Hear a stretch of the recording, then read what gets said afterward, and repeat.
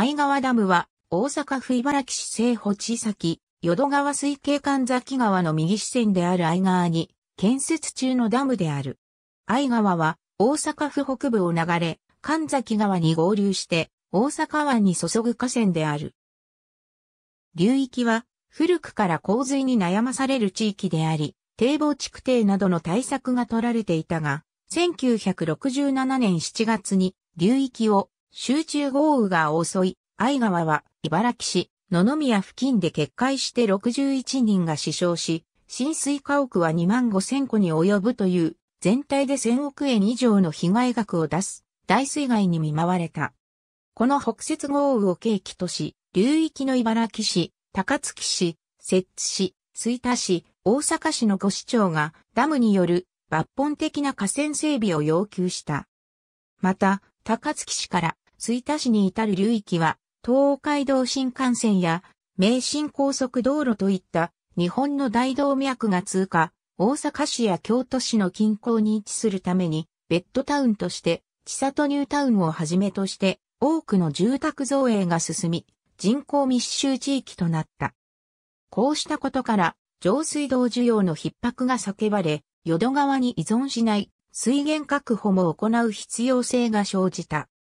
こうして、当時の黒田良一大阪府知事による革新不正の下で治水ダムとして始まった相川ダム事業は多目的ダムとして事業を拡大することになり、1976年に計画発表された。だが、水没地域の西保地区は住宅地であり、水没予定住民はダム建設を強行に拒んだため、保証交渉は難航した。1993年1月には水源地域対策特別措置法の指定を受け、西保島3地区に代替住宅地を造成することにより、保証交渉も決着した。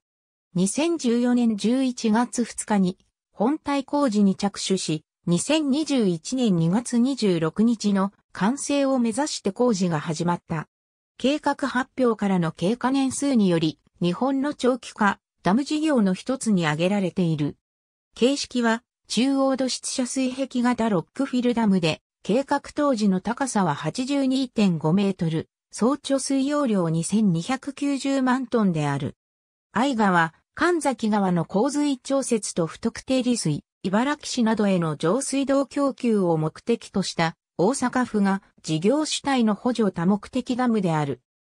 用地の90%は買収済みで水源地域対策特別措置法の補助対象となったことから一般保障基準の妥結内容に基づき水没する西保集落、社作集落の移転先造成や大阪府道46号茨城亀岡線の付け替え工事が行われている。だが、大高や大山椒魚など貴重な生物が数多く生息している風光明媚な上流の自然が破壊されるダムサイトに馬場断層があるために直下型地震で被害を受ける懸念がある節水の普及によって水需要が横ばいであるために大阪府が財政難の今新しいダム建設は無謀であり建設中止にすべきといった理由から相川ダムは入間辺府民の会など下流域の一部市民による反対意見も多い。これに対して大阪府はダムはまず治水目的である建設を中止すればこれまでの投資がかえって無駄になると建設を進める考えである。2005年8月には、不衛水道の将来需要見直しの中で相川ダムに触れ、水需要の横ばいに合わせて、ダムの利水規模を当初計画の日量7万トンから1万トン程度にまで縮小し、建設規模もダムの高さを6.0メートル抑えて、事業費を大幅節減することを発表している。これにより、当初の総貯水容量2290万トンは1800万トンに、淡水面積も56ヘクタールから34ヘクタールに縮小されることとなった。同年12月には、大阪府の公共事業見直しを検討する大阪府建設事業評価委員会が、相川ダム建設事業は、経費圧縮の努力や流域自治体越しの建設促進要望が強いことなどを理由として、事業の継続は妥当との結論を発表した。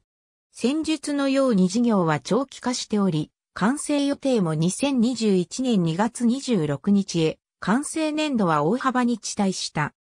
なお、相川ダムから西に山一つ越えた神崎川の右支線、稲川の所有支線である余野川には、国土交通省近畿地方整備局によって、重力式、コンクリートダムの余野川ダムが建設予定であるが、2005年の淀川水系流域委員会の答申を受けて、国土交通省が建設中止の意向を示している。ありがとうございます。